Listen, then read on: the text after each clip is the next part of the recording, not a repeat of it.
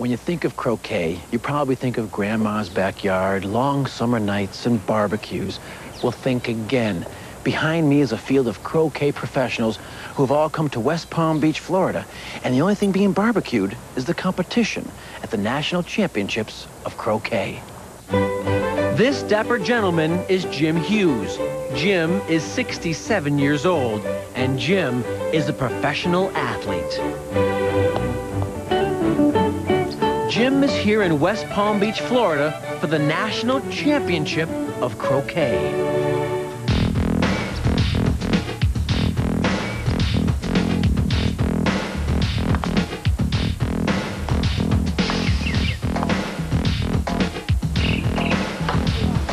At my age, to be playing at this level is, a, is a real hoot.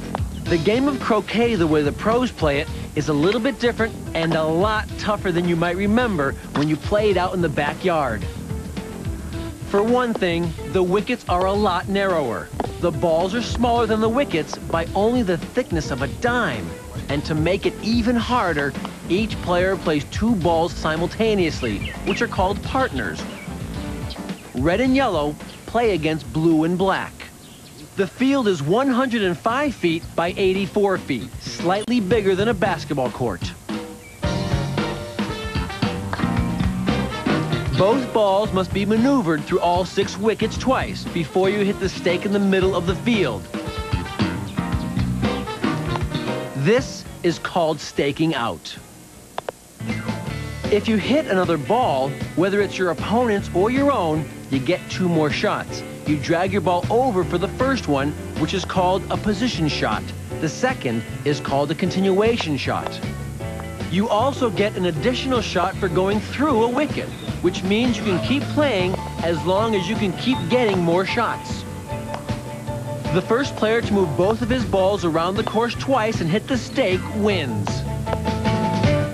You have to learn to maneuver the balls all over the court to put them where you want to put them so you can use them throughout the game. It's just not skill. They can think their way out of corners. More thinking than anyone would dream if they haven't played it. In the first five games of the tournament, Jim Hughes demonstrates his mastery of croquet strategy. Jim makes sure to always keep his partners within close range of each other and the next wicket. After six years of trying, this victory over Pat Roach puts Jim Hughes in the national championship semifinals. I've gotten further than I expected to get, and uh, uh, every game I win now is, uh, uh is a plus. In the semifinal, Jim Hughes will have to cross mallets with veteran croquet animal Mik Mehas, a former national champion. One mistake in, in this level and if you get away with it, you're lucky. Two of them you probably won't. So if you make one mistake, the game's over. In the semifinal, Mik makes the first move. Players score one point each time one of their balls goes through a wicket, plus one point for hitting the stake, for a total of 26 points.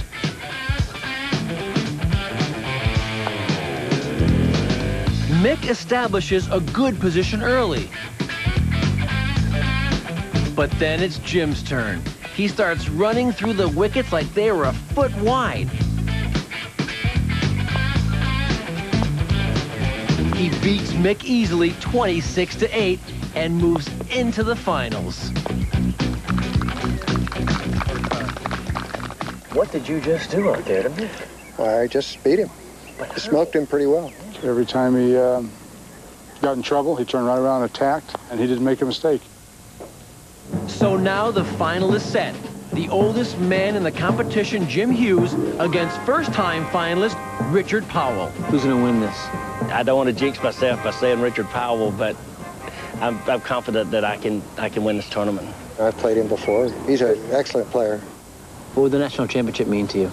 The national championship would probably be the biggest thing uh, uh, in my life next to the birth of my daughter.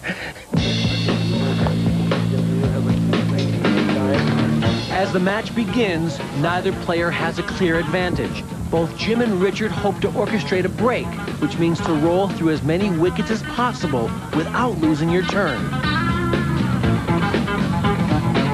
Richard gets into a groove first. He puts together a break and pulls out far in front of Jim. Richard's up 18 to 2 and he's hot. Jim's only chance is to get aggressive.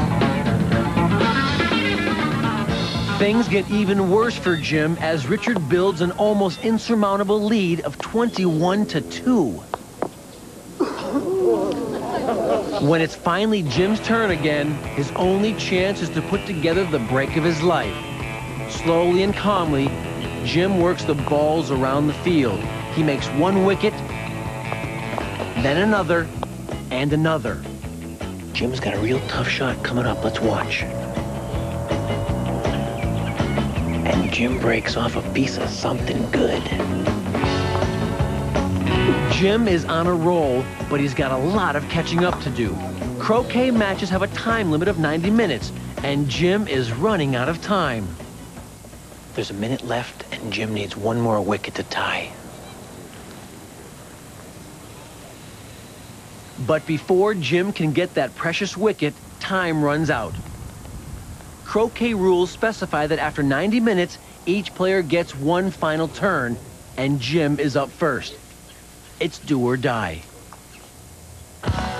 Thinking ahead, Jim sends Richard's black ball down the field where Jim can play off it to get closer to the tying wicket.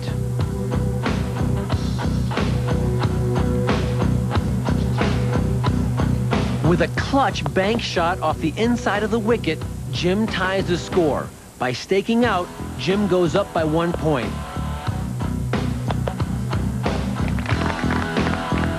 Richard's only chance to stay alive is a near impossible shot through a wicket all the way on the other end of the court. If he misses, it's all over.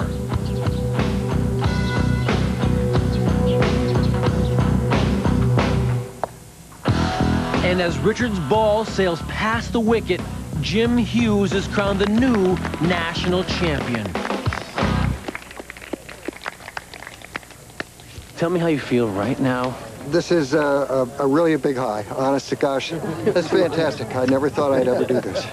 I'm very proud, you know, to, to be in this position. Uh, it's been a big week. Uh, kind of fills you up thinking about coming this far, you know. That's right. And this year's champion, yeah. by a score of 23 to 22 in the final match, Jim Hughes.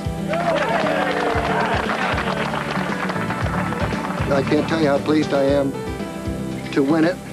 On a personal level, I, I want to thank my wife for putting up with me. and my son, who can't be here, uh, is my best buddy.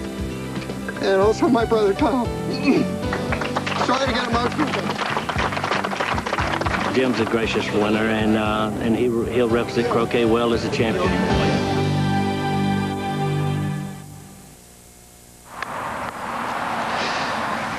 Next up, sled dog races for people with short attention spans. Stay with us.